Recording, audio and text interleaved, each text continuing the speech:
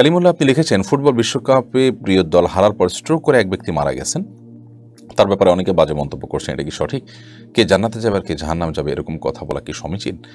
ভাই কালিমুল্লাহ, সন্দেহাতীতভাবে আপনার সাথে আমার এ ব্যাপারে দ্বিমত করার কোনো কারণ নেই যে কে জান্নাতে যাবে, একজন ইমানদার মানুষ, মুসলমানের সন্তান, মুসলমান, কালিমাগু, তিনি আহলে কেবলা আমার, তিনি দুনিয়া থেকে চলে গেছেন।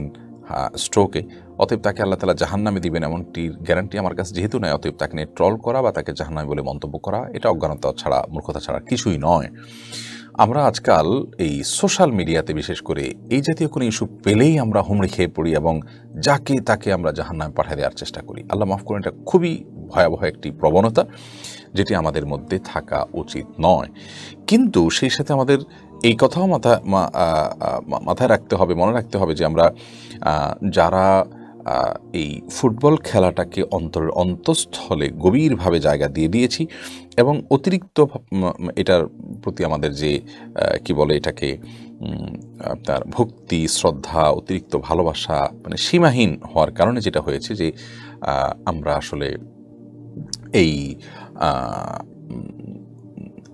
জায়গাতে এসে আমরা নিজেরা আবেগ তাড়িত হয়ে যাচ্ছি এবং নিজেদের জীবন পর্যন্ত চলে যাচ্ছে। এটার জন্য আল্লাহর কাছে জবাবদিহিতার মুখোমুখি হতে পারে।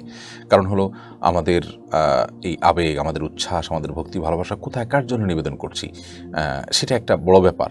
এবং তার ফলশ্রুতিতে আমি নিজের ক্ষতি ডেকে আনছি। বিধায় এটা অবশ্যই অন্যায় কাজ। কিন্তু এরপরে এই লোকটাকে আল্লাহ তালা অন্য কোনো কারণে মাফ করে দিয়ে থাকতে পারেন।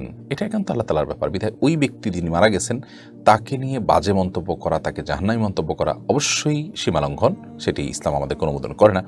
তবে